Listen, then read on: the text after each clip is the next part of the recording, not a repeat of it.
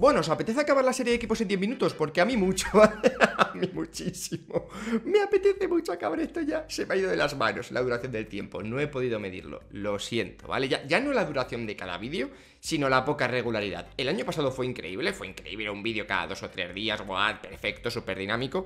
Este año se me ha ido de la mano, ¿no? No sé, no sé por qué lo he gestionado tan mal el tiempo, pero estamos casi en febrero y aún no lo he acabado, ¿vale? Así que antes de que presenten los nuevos coches, vamos a intentar acabar con todos y acabamos con el capítulo más fácil de todos. Lleva siendo el capítulo más fácil desde que empecé esta serie el año pasado. Claro, tampoco es mucho tiempo, pero si lo hubiera empezado hace tres, también sería un capítulo fácil porque hay que hablar de Mercedes en 10 minutos. Y hablar de Mercedes en 10 minutos es hablar de la excelencia, ¿no? De, de, gente que hace todo bien. Todo lo contrario a lo que veis en este canal, ellos lo hacen bien, ¿vale? Es increíble. El nivel de, de Mercedes han superado ellos mismos. Ya en pretemporada de repente nos sorprendieron con la historia del Dash, que ya nos habla del Dash porque se ha demostrado que no han ganado por el Dash, ¿vale? Quiero decir, el Dash es un complemento más para demostrar que son los mejores y que están años luz del resto, ¿no? Es como decir, mira, es que somos buenísimos y como nos sobra tiempo nos hemos inventado esto. Mira, mira, Luis, haz así, hago así. Hola. Entonces, bueno, ya, ya se aburren y prueban cosas, ¿no? O sea, legales o ilegales, les da igual, les sobra, ¿no? Y, lo han vuelto a demostrar este año y es que están un escalón por encima del resto. Y ya está, y es muy difícil competir contra gente tan eficiente, gente tan, tan, tan buena en su trabajo, pero es lo que hay. Esperemos que con la regla de 2022 en este caso cambien, pero por ahora no parece algo muy, muy, muy esperable, ¿no? Solo falta esperar que Mercedes se pueda autodestruir a sí misma, ¿no? Con estos líos que tiene de inversores, de que si ahora han repartido la propiedad y tal, y que de alguna manera esto pueda desestabilizar un proyecto tan sumamente estable, pero es que ni aún así lo veo. Así que hablando de su temporada 2020, bueno, hay un datito sobre la mesa que no os va a gustar, pero es que han ganado 13 de 17 carreras. 13 de 17, y muchas de ellas son dobletes, ¿vale? Digamos que por si acaso no has visto la temporada, eh, con ese dato ya te puedes hacer una idea de lo que hemos visto. Pero sin embargo, sin embargo, hay que ser justos y decir que no en todas las carreras que han ganado han sido los mejores, ¿vale? Luego hablaremos de Hamilton y las, para mí, sus dos victorias más destacadas esta temporada, la de Turquía y la de Silverstone, ¿no? La de Silverstone con aquel pinchazo al final, bueno, luego lo hacemos en el apartado de, de Lewis Hamilton, pero han demostrado que incluso cuando no son el mejor coche, son uno de los mejores equipos. Ya sabéis que en el vídeo de McLaren dije que me han gustado mucho su trabajo en equipo, especialmente entre Carlos, eh, Norris y, y Andrea Seidel, pero Mercedes, digamos, que ha trabajado bien como equipo en general, ¿no? En todas sus tónicas, hasta las paradas han sido buenas. Ha sido increíble el nivel de Mercedes y el único fallo de la temporada lo tuvieron en, en Sakir, ¿vale? Un fallo que dio para, para todo tipo de conspiraciones, como es que lo querían perjudicar a Russell y tal. Bueno, Entiendo, mirad, ya sabéis que no soy nada de teorías conspiranoicas, soy la persona menos conspiranoica de la historia, pero puedo entender que en aquella carrera surgieran dudas, ¿no? Porque fue curioso que viendo los pocos fallos que suele cometer Mercedes durante las temporadas, justamente en esa carrera fallaran tantísimo, ¿no? Pero bueno, eh, prefiero no comprar teorías conspirativas porque si no al final dejas de creer en la competición, dejas de creer en la Fórmula 1 y dejas de creer en todo, ¿no? Y permitidme pensar que el mundo es un lugar bonito. Todavía. No sé. Poniendo en perspectiva los fríos datos, los fríos números, Mercedes tiene 573 puntos y un dato muy curioso y muy gracioso, para mí por lo menos, es que en la carrera en la que menos puntos han conseguido, consiguieron 7. en la que menos, 7 puntos. Que oye, que para una carrera mala es que no está mal. O sea, es que esta está bien. esta está bien. O sea que imaginad el nivel al que ha estado el equipo alemán esta temporada. Pero bueno, vamos a hablar ya de los pilotos y empezamos por Lewis Hamilton, que es claramente el protagonista de, del equipo Mercedes, ¿no? Ya sabemos que hoy es noticia, estos días es noticia por temas más extradeportivos, ¿no? Porque aún a fecha de este vídeo, imagino que si lo ves en dos semanas ya se habrá solucionado. Eh, no se sabe si correrán Mercedes o no el año que viene. Todo da por hecho que sí. Es prácticamente imposible pensar en que no vaya a pasar. Todo parece muy normal, pero el contrato no parece estar firmado, ¿vale? Al menos según fuentes oficiales, como la de Toto Wolf, ese contrato no está firmado aún. Entonces, da para especulación. Pero bueno, vamos a obviar todo esto y vamos a hablar de su temporada 2020, en la que, para mí, a pesar de ser el año en el que ha tenido el coche más dominador, ha demostrado bastante bien respecto a otros campeonatos que tiene. Recordemos, este año igualado los 7 campeonatos de Michael Schumacher. Ha demostrado bastante por qué es el campeón y no Botas, ¿no? Por ejemplo, yo creo que esta temporada ha quedado bastante claro. Y me quiero quedar con dos victorias, lo comentaba al principio.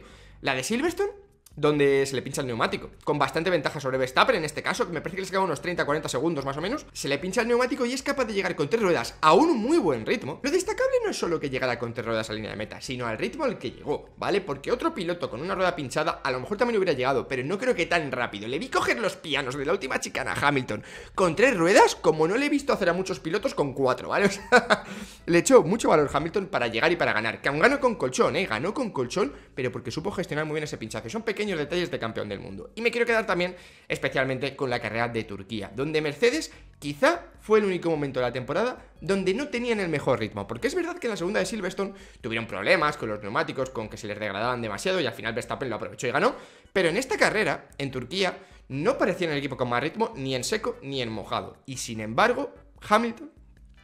Y sin embargo, Hamilton sacó la casta por la cual está y sin embargo, Hamilton sacó esa casta, ese, ese valor de, de heptacampeón del mundo que tiene a día de hoy y se llevó la victoria. En una muy buena carrera de Hamilton, una carrera espectacular, de las mejores que yo he recordado a Luis Hamilton. Y es verdad que el coche es buenísimo, por supuesto era buenísimo, no era el peor coche ni de lejos, ¿eh? De ritmo en esa carrera, pero no era el mejor, era claramente mejor el Red Bull. Sin embargo, Verstappen no tuvo su fin de semana, es verdad que también tuvo problemas con el coche, es verdad que luego tuvo problemas Stroll con el ritmo en la segunda parada, es verdad que pasaron muchas cosas, por supuesto, pero Luis Hamilton en una pista que era prácticamente hielo, donde su compañero trompeó entre 6 y 800 veces, perdí la cuenta, fue capaz de llevarse la victoria yo le doy mucho mérito a esa victoria de de, Turquía de, de, Luis Hamilton. La verdad, le doy muchísimo mérito y creo que es uno de esos detalles en los que sí, claro que gana Luis Hamilton teniendo el mejor coche, por supuesto. Y es más fácil ganar eh, siendo Luis Hamilton que siendo otro con ese coche y con el compañero, con Valtteri Bottas, del que ahora hablaremos después.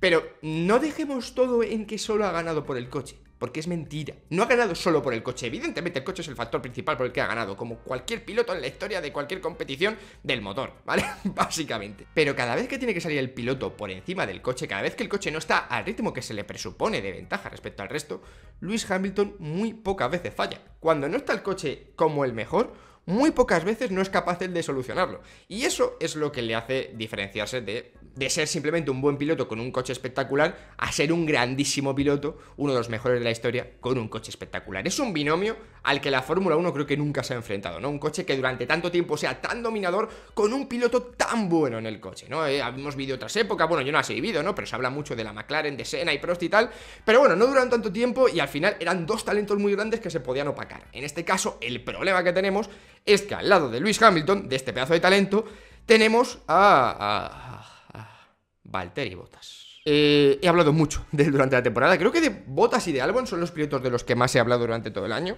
Y tengo un vídeo reciente sobre, sobre Valtteri Bottas hablando de, de, unas declaraciones que hizo hace poco, demostrando poca ambición, ¿no? Y quizás lo que más le puede achacar a Valtteri Bottas es la falta de ambición, pero no voy a ser injusto en este vídeo. No voy a ser injusto con Valtteri Bottas, podría serlo, y, y muchos diréis, jaja, eso es, Fogos, di que sí, di que Bottas es malísimo y tal. No, no soy así, ya lo sabéis si me conocéis un poquito. Eh, pero es verdad que no ha tenido su temporada. No ha tenido su temporada, pero antes que criticar eh, los muchos fallos que ha tenido y la poca consistencia que ha tenido, no quiero dejar pasar la oportunidad de decir que tampoco le ha acompañado la suerte, ¿vale? Es cierto que no ha hecho prácticamente ningún mérito por ser por, competirle el mundial a Hamilton. Eso es cierto, ¿vale? No, no hay mucho de lo que rascar ahí, porque todo lo que quiera rascar para decir que ha intentado luchar es mentira. Pero es cierto que ha habido momentos en los que la mala suerte le ha atacado. Vamos a contar Sakir, un poco de mala suerte. Luego el resto de la carrera fue ridícula, ¿eh? Pero tuvo mala suerte con la historia de los neumáticos, al igual que Russell. Russell tuvo peor suerte aún. En Imola, por ejemplo, estoy hablando de algunos recuerdos que se me vienen a la memoria y me dejaré muchos más. Pero en Imola, por ejemplo, tenía mejor ritmo que nadie y de repente se le mete una pieza del coche de Vettel, podía ser, o del Ferrari de Vettel, no me acuerdo de qué Ferrari fue, y le fastidia el ritmo de carrera y le empiezan a adelantar. Le ha pasado varios momentos esta temporada donde cuando podía tener un golpecito de suerte, no lo tuvo. ¿Vale? Cuando podía tener un golpecito de suerte que, ay, que saliera una bandera roja, que sea tal, nunca lo tuvo, siempre le vino mal. Y eso es cierto, ¿vale? Y es mala suerte. Que aun con eso no le hubiera competido el Mundial a Hamilton, seguramente, o sea, prácticamente al 100%. Pero vamos a ser justos, vamos a ponerlo en perspectiva, no le ha acompañado la suerte a Valtteri Bottas y tampoco le han acompañado a veces las decisiones del equipo, ¿no? Donde, pues claramente priorizaban el ritmo de, de Lewis Hamilton. Pero al final esta es la historia de siempre, ¿no? Si priorizan el ritmo de Lewis Hamilton y la carrera de Lewis Hamilton es porque a lo largo de las carreras va demostrando siempre mejor ritmo que Valtteri Bottas. Entonces, la historia de siempre, ¿vale? Hemos hablado de esto muchas veces, ¿no? Que al final ser el primer piloto o el segundo te favorecen las decisiones es por el ritmo que has demostrado en otras carreras, ¿no? Y bueno, no siempre te va a ayudar el equipo, ¿no? Pero... Y eso, pues obviamente eh, hace que te traten de una manera o de otra dentro de, la estructura Mercedes. Pero eh, ese es el problema de Valtteri Bottas. Luego, pues sí, evidentemente le falta. Tiene un problema muy grave Valtteri Bottas y es el de maniobras en pista. Le cuesta muchísimo adelantar a coches, ¿vale? Es verdad que en ritmo a una vuelta es muy bueno, es muy bueno. De vez en cuando puede superar a Hamilton y ojito que está bastante cerca.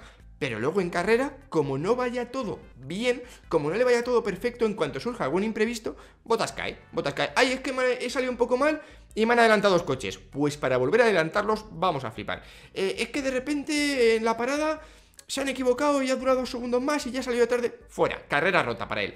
Le pasan muchas cosas a las que no es capaz de sobreponerse, ¿no? Y a Luis Hamilton le han pasado también algunas cositas. Recordemos, por ejemplo, Monza, ¿no? Donde le pasó de todo a Luis Hamilton con la sanción aquella y tal, pero oye, al final pudo remontar. Y son, son cosas a las que Hamilton sí se puede sobreponer y Botas no. A Botas le cuesta mucho el maniobrar en pista. Pero es que le cuesta adelantar a coches de mucho menos ritmo que él. Porque no estamos hablando de que solo le cuesta, adelantar a Verstappen.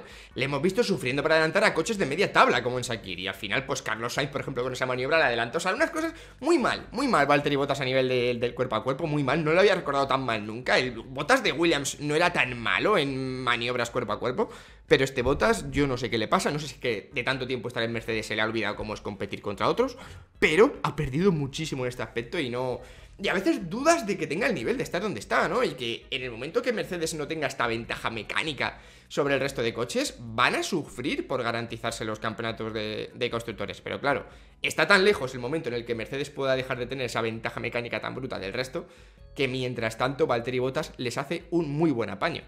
Y para el espectáculo todos querríamos a Russell, por supuesto, pero al final Mercedes es un negocio, es un equipo y saben que esta, esta estabilidad que les da Bottas sabiendo que tiene que estar aquí y Hamilton sabiendo que tiene que estar aquí, no te la va a dar otro piloto de la parrilla. Así que, no os gusta o no, me temo que este año de Bottas nos lo fumamos sí o sí, evidentemente y a rezar porque en 2022 cambia la historia. Y como aficionado, pues esperar que 2021 es complicado, ¿no? Pero que al menos en 2022 veamos algo más de igualdad, ¿no? Que es al final, mucha gente le tiene manía a Mercedes por esto, ¿no? Por la historia de... Es que claro, es que son demasiado buenos y se cargan la competición. Sí, pero no es su culpa, ¿vale? Echemos la culpa a los que no son capaces de llegar a su ritmo, ¿no? Digo, yo creo que será algo más, más justo. No es culpa de Mercedes ser buenísimos, ¿vale? Es culpa del resto por no llegar a ese nivel de excelencia, ¿no? Pero bueno, entiendo que es más fácil criticar al que gana y ya está. Y es cierto que al final una de las mejores carreras del año es en la que Mercedes autodestruyó, ¿vale? Prácticamente que fue en la de, en la de Sakir, en la de las conspiraciones. No querían que ganara otro que no fuera Hamilton, entonces se perjudicaron. Oh, vale. vale, pues para ti. Pero bueno, es lo que hay al menos durante este año, si no... Pero bueno, es lo que tenemos, ¿no? Queda acostumbrarse a disfrutar luchas por el tercer puesto en el Mundial y estas cosas con las que yo me emociono, por el tercero de constructor y estas cositas. Y ya está, amigos, y, a disfrutar carrera a carrera. Al final tomamos esto como carrera a carrera, tomadlo como un espectáculo. Cada carrera un pequeño evento teatral.